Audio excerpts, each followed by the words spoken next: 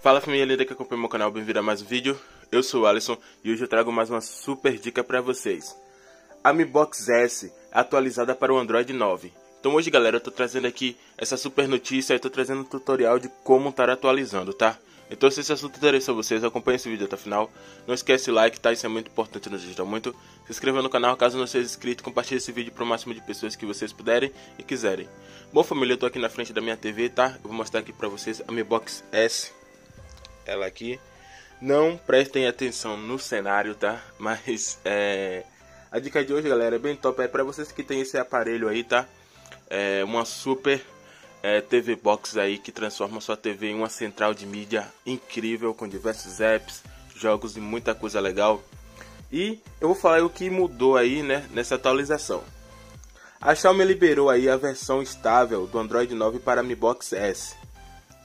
Lançado originalmente com Android 8.1, o Orion, o update do Android TV chegou aos usuários nessa semana, com direito à correção de bugs e melhoria no sistema. O primeiro beta do Android 9 Pia chegou em novembro de 2019 ao dispositivo da Xiaomi.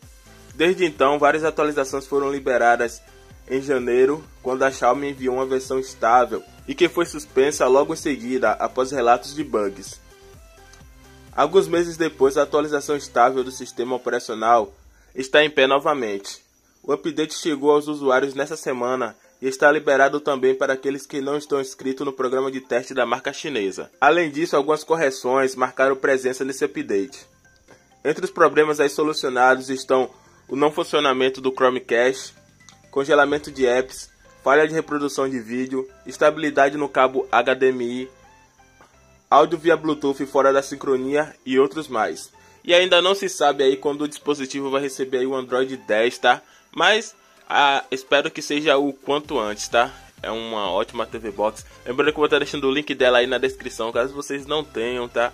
Mas é bem top e bem legal mesmo. Dá pra vocês fazerem diversas coisas, como é, baixar os aplicativos como COD, Spotify, TV Express, é, o Prime Video e muitos outros, tá? E família, eu vou mostrar vocês como atualizar, tá?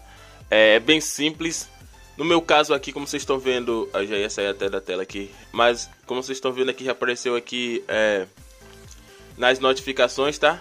Aqui nas notificações, para atualizar, só vocês clicarem aqui, selecionar aí e depois é, instalar, tá? Mas se no seu caso não apareceu nas notificações, vocês podem ir aqui em configurações, selecionar aqui a preferência do dispositivo, sobre, e aqui a atualização do sistema.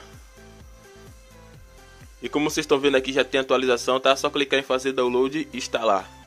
Então, família, essa foi a dica, tá? Uma dica bem simples, mas espero que vocês tenham gostado, tá? Até a próxima. Valeu, fui!